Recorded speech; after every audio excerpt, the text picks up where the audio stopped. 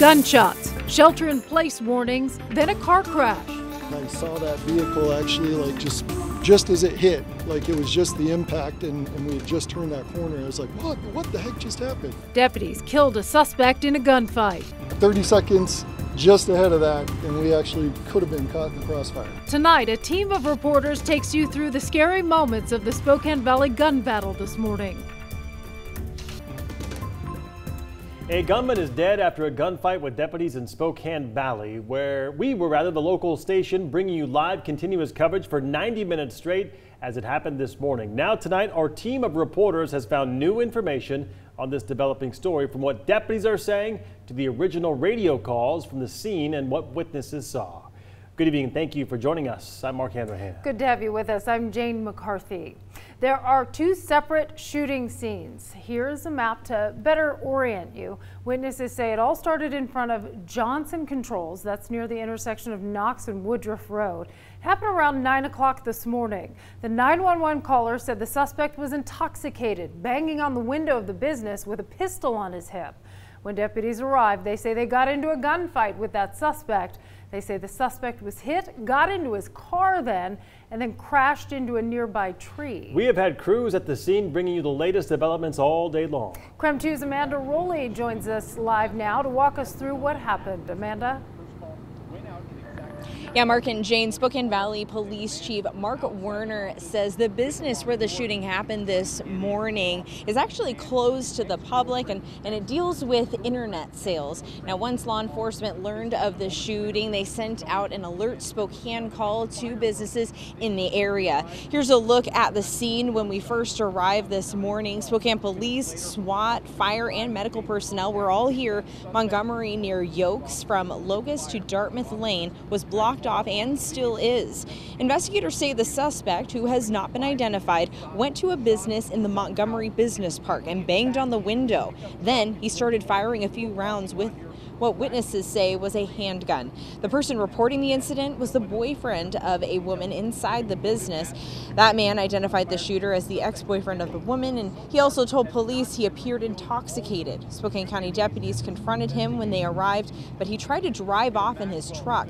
We talked to a witness who says he saw the truck crash The was still stuck, so I didn't know if somebody was still in it. I couldn't see inside, but I just heard a loud, you know, a loud revving, and the radiator was spewing. There was all sorts of smoke. Um, and he slowed down and I, I, saw a guy run from across the street over to the multifab building. Um, when he got to the multifab building, the guy crouched down underneath a rock. I saw another guy that was in a truck that was right there parked. He just started running, like just straight out sprint running uh, away from the scene. And I was like, I don't know if that thing's going to explode or if there's an active gun, you know, gunfight going on. This witness here believes if he and his boss had been in the area just 30 seconds earlier, they would have been caught in the crossfire. Police say the suspect died, but no one else was injured in the shooting. And again, that suspect has not been identified. Going back out live here at the Montgomery Business Park, you can see the incident command post is set up here. Uh, investigators are processing the scene and still collecting evidence. We did see about an hour ago the medical examiner is now on scene. As far as traffic going through Montgomery, Montgomery. Law enforcement say they expect Montgomery to remain closed through the evening. Reporting in Spokane Valley, Amanda Rowley, KREM 2 News. Yeah, I was just sitting at my desk and just started hearing pop, pop, pop, pop, probably 15, 20 shots. Well, that man was working inside an office building a block away from the shooting, but still heard it going on. He and coworkers then heard what they believed to be SWAT officers near the suspect as well. They spoke with KREM 2's Taylor Viydo about what they heard. He joins us live from the scene tonight with more on that. Taylor? Yo, guys, I'm standing at the corner of Woodruff and Knox. Down the street from me here on Knox behind me is the area where we believe the shooting originally started at this hour. As you can see behind me, it's still all blocked off. So again, the shooting happened over there. I spoke with some people in a business located in this direction where I'm looking. Even though they were a block away, they could still hear all those gunshots. It was probably 10 or 15 rounds, maybe 20, back to back to back to back. We heard a concussion grenade go off and a lot of smoke happening. Not what you'd expect to hear in a presumably sleepy business park area like this one. These men were working in a business building across the street from the Montgomery Business Park. Despite not seeing the shooting, they were well aware of what was happening.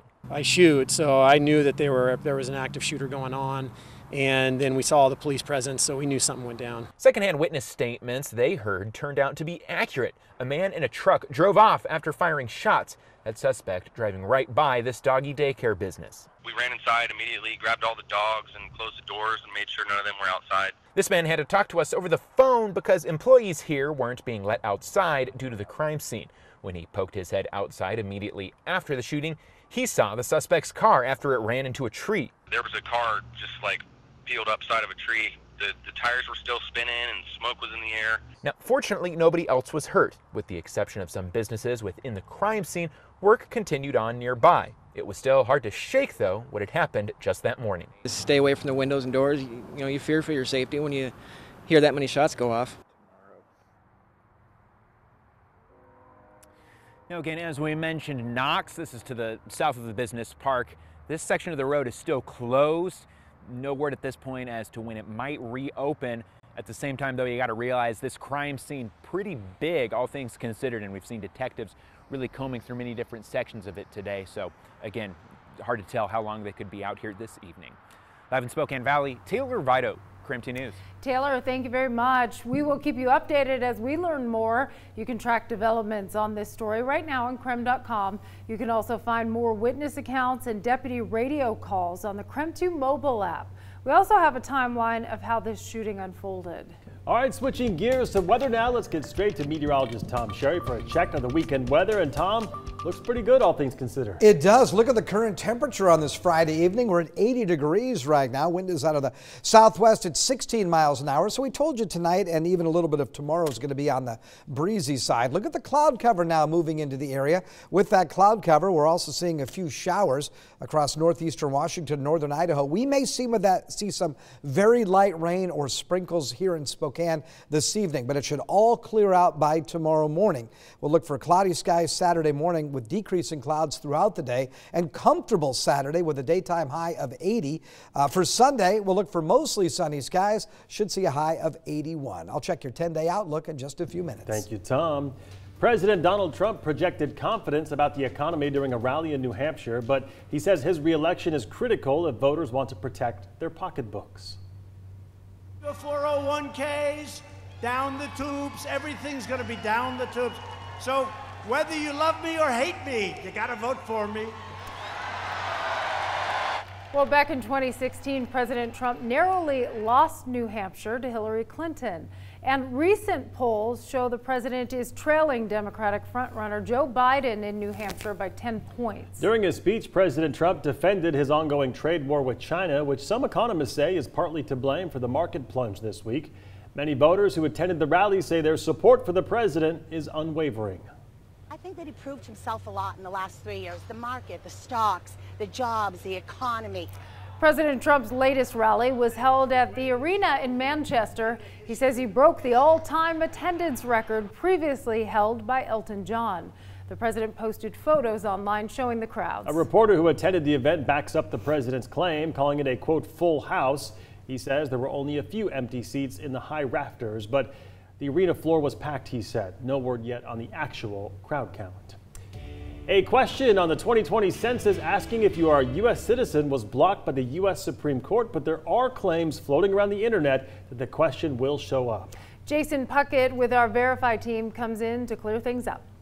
We're tackling a claim about the citizenship question on the U.S. Census. For a little background, the idea proposed by the Trump administration would have added a question that asked whether people responding were a U.S. citizen or not. After a lengthy debate that wound up with the Supreme Court blocking it, the Trump administration dropped the question from the 2020 census. But not according to this claim. It claims to show a clip from the current census form that asks if the person answering is a citizen of the United States. So what's going on here? Well, we tracked this image down to its source, a real provided by the Census Bureau. It does ask if the person is a citizen of the United States, but scroll to the top, and it's not the 2020 census form, it's the 2019 American Community Survey form. What's the difference? Well, according to the Census Bureau, the American Community Survey is sent out every year separate from the census. It was actually created to shorten the overall census form. Long form questions that used to be sent with the census now come in the form of this American Community Survey. It's been sent out to a randomly selected number of households in the U.S. since 2000. There's also another separate form that has been sent to some American households, this form. It's a test form sent ahead of the 2020 census, and it was printed and mailed before the Supreme Court decision, meaning it still has the citizenship question on it. But bottom line, neither the American Community Survey nor the census test form sent out are what will show up on the 2020 census form. Those haven't been sent yet. And to go one step further, this is the 2020 census form or an informational copy provided by the Census Bureau. You can scan all the way through its eight pages and there's no citizenship question. So this image claiming a citizenship question is currently on the 2020 census form is false. Got any other claims for us to look into? Send us an email. With your Verify, I'm Jason Puckett.